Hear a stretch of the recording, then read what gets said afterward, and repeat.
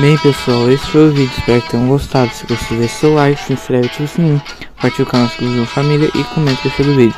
Falou galera, até o próximo vídeo. Tchau!